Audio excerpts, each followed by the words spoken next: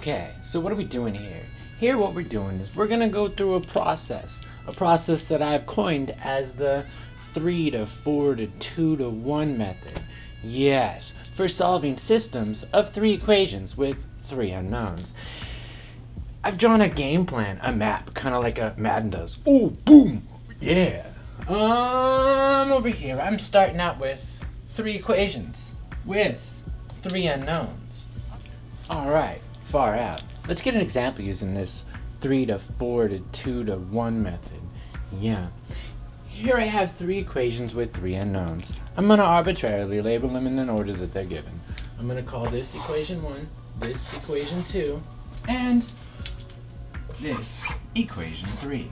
Tee-hee. Tee-hee. Now what I want to do is I want to pick a variable to eliminate. Which one? I want to go and I want to eliminate the y variable. Great. I've indicated that that's the one I wanted to take care of. Alright, so now I need to break up into some pairings. I'm going to attempt to pair 1 and 2 and 1 and 3. I can pair them in any order I want because one of them is going to belong to both of the subdivisions. What I want to do is I want to pair them off and I want to bracket them kind of like a sporting event. So let's go ahead and do that now. Let's pair, let's pair 1 and 2. And then down here, I'll pair 1 and 3. Yeah, alright, fine. So let's go ahead and rewrite those. So then, I'm going to have x minus y plus 3. z is 8. Great. And 3x plus y minus 2. z is a minus 2. Oh. And then down here in this pairing, I'm going to pair 1 and 3. So this is going to be x minus y plus 3.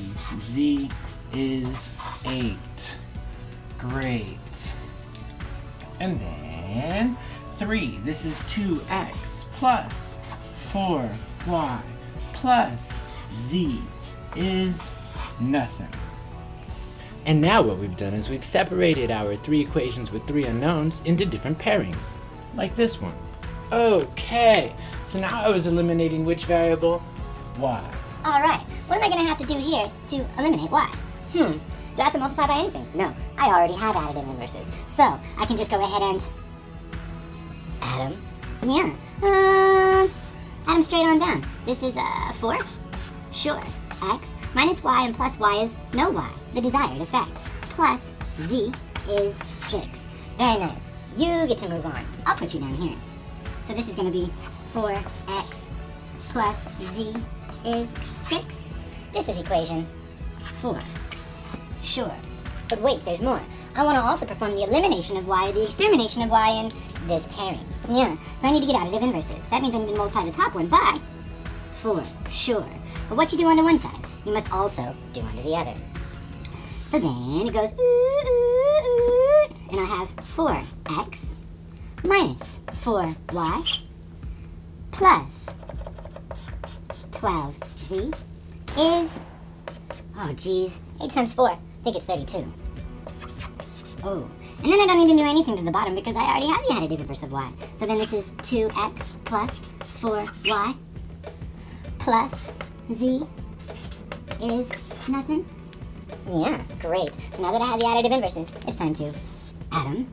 4x and 2x is 6x. You're out of here. Plus 13z is 32. Oh, nice. So we've eliminated y, and I'm going to put that down here. This is equation 5. In equation 5, I'm going to have 6x plus 13z is 32. I'm going to separate it off into pairings, and in each one of these pairings, I'm going to eliminate the same variable. Equation 4 is only going to be in terms of x and z, and this equation 5 is only of variables x. Now what do you do? You have choices in 4 and 5. You have choices in 4 and 5. You can eliminate your x's, or you can eliminate your z's. Hmm. Yeah. So I'm going to multiply the top one by uh, minus 13.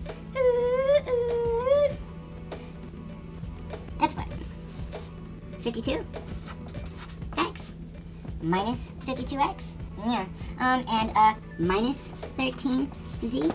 Yes. But what you do on the one side, you must also do on the other. Multiply this one by minus 13 also. What is 6 times 13?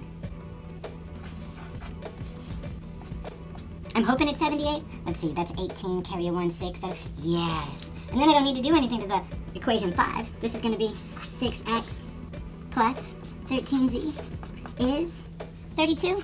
Yeah. So then I'm going to add them. And the difference is, countdown, 46. X is, no way, a minus 46. Awesome. So then this is that equation 6 out. Now our process is nearly complete. Here, we're down to almost our last step before our back substitution. We have one equation with one unknown. Here's 6.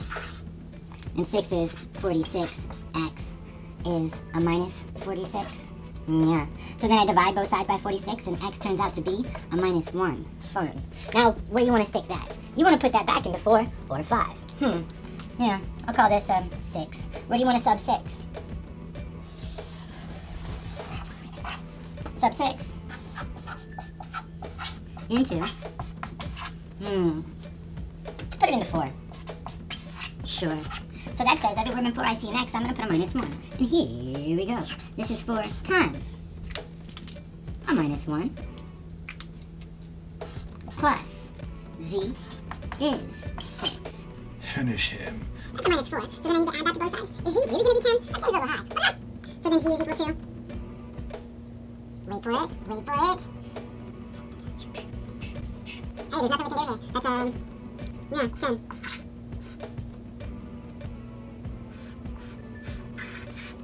Z is 10. So X is minus 1 and Z is 10. I'm going to take those, and I'm going to sub those up into the original. Which original? Doesn't matter to me. Let's uh, plug it into... 3. I'll call this one 7. Great. Sub 7.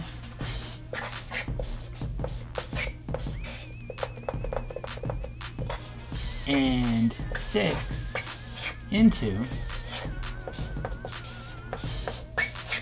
3. Tee-hee. Tee-hee.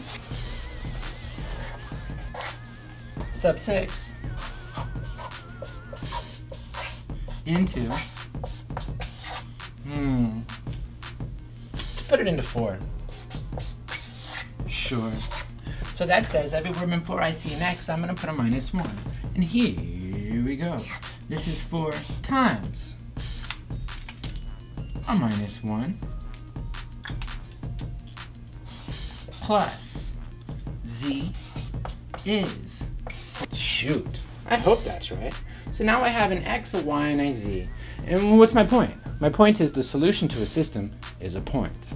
And my point is of the form x, y, z. So what was my x value? Minus 1. Yeah. And my y value? Minus 2. And my z value? 10. Very nice. And then what? Yeah. a box and a flower.